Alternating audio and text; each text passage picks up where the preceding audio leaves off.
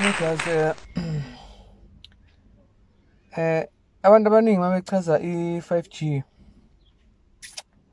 bachaza kakhulu ngesingisi. Eh, Mina ngifuna ukuyichazela ngesiZulu.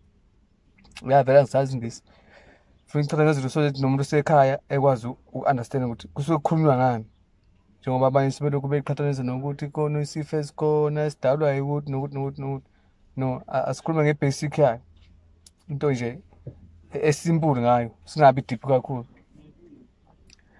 Eh i- i- i- i-5G i- i- is a fifth fifth generation network. Because sisuka ku-4G wonke umuntu bebona ifoni yakhe bibhaliwe 4G phezulu amanye ayibhalwe 3G i-5G ke i- i- entsha from 4G okusho ukuthi i-powerful. Cishe maybe ungayiphinda phinda ka-100 noma ngenayo sure but okuhle ngayo ukuthi it's faster iyashesha ukwenza izinto. Eh isibonelo nje imovie uma kade uyidownloada ibithi eh ikithi 23 remaining minutes ithi 24 ithi 60 minutes yabo isho leyo nto ingenayo isho kahle kahle. kwi-5G imovie uma uyidownloada is 3 and a half seconds. Imovie sisefonini yakho noma isilapho kade udownloada khona so i-faster than i-4G ngamanye amazwi i-upgrade so eh okunye ngingaqalekisa njenge-x-ray i-x-ray bufika esibhedlela ungene kwi-x-ray shutha isithombe ubuyele ebhentshini uhlale kancane ulinde kancane ebhentshini. Bese kuyabizwa kuthiwa eh woza uzo-check isithombe sakho uze uzo-check isithombe. njengamanje usuzovele ume duze komshini lowo oshuthayo uvele khona manje isithombe sakho ukuthi nayo into oyigwinyile uma kukhona into oyigwinyile nayo into eyinkinga lapha ngaphandle kokuthi ukulinda. Yabo okunye ongathi kungaba yinto e- e- e- egood nge-5G because into eningi ziyashesha nanokunye-ke uthola ukuthi ezinye izinto kuba ngathi ziyazenzakalela njengokuthini nje eh a- abathanda amamuvi bake babona kwi- kwi- kwi-Fast and Furious 9 leyokugcina ubhuti lomunye ufike wapaka isithuthuthu wasekhuluma nabanye uthe sehamba isithuthuthu sayizela sona wasegibela wahamba E- e- e- enye technology ezobe isebenza leyo nanokukhanda irobot uzokwazi ukukhanda irobot ulithume esitolo u- u- u- u- u- ulokhu uze libuye futhi libuye nento osuke mhlawumbe uthole uthuma ushukela noma idrink ngiyakalekisa ekuthenini into angisho ukuthi kube kukhandwa amarobot sesho ukuthi i-5G i-powerful ngale ndlela ukuthi ingakwazi ukwenza izinto zenzeke.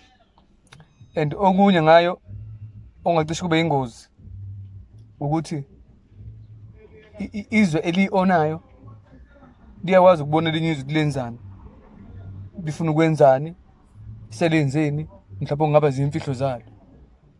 A- a- a- angifuni ukusho isibonelo ukuthi njenganje. Okunye futhi mhlambe ubugangile uhamba nabantu abathize bese bathola lesi mhlambe kwatrackwa ifoni yakho.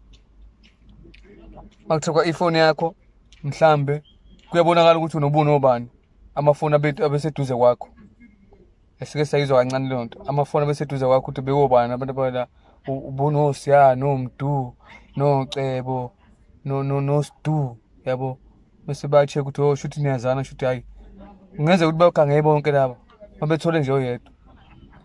Izinto enjengalezo nje E- ezinye ke ya yona i- i- i- i- ilezo nje engathi cishe zibe simple but okunye ke nje eh okuphathelene nokuthi i- i- ibhedi ngani kanjani ayi angifuni okunye ukukhuluma kakhulu yabo.